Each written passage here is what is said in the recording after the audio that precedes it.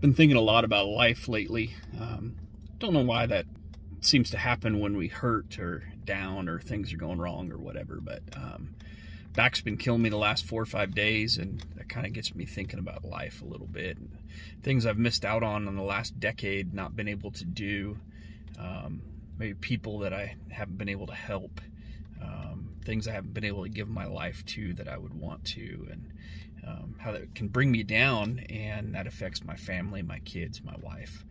Um, and, uh, you know, staying mentally positive is often a difficult thing to do for me, at least, maybe for you. And um, keeping motivation straight, um, keeping your purpose, your life's purpose uh, in order. And um, I remember saying when I was younger, when this life is done and past, only what's done for Christ will last. I think that's true. Um, you know, what, what we are here in life ends up fading away. You know, once once this life is over, I'm 45 years old now and uh, getting a little grayer. When it's gone, it's gone. And what are those that you influenced? What about those that you were around? Your children, your grandchildren, your friends? Uh, what do they carry on about you? What do they remember?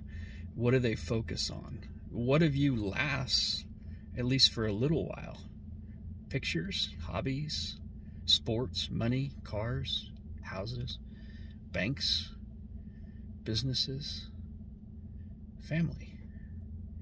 Family continues on. And I am so grateful that over the last 10 years, even though I've been uh, stuck at home, soccer marm, um, I've been able to uh, be around my family. And even when I'm not in a good mood or uh, not joking or uh, kind of not present, my family's there, and um, that's important.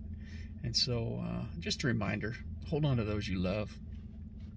Tell them you love them. Uh, your mom, your mother-in-law, uh, your your father, your father-in-law, your kids, your grandkids, your brothers, your sisters, your aunts, your uncles.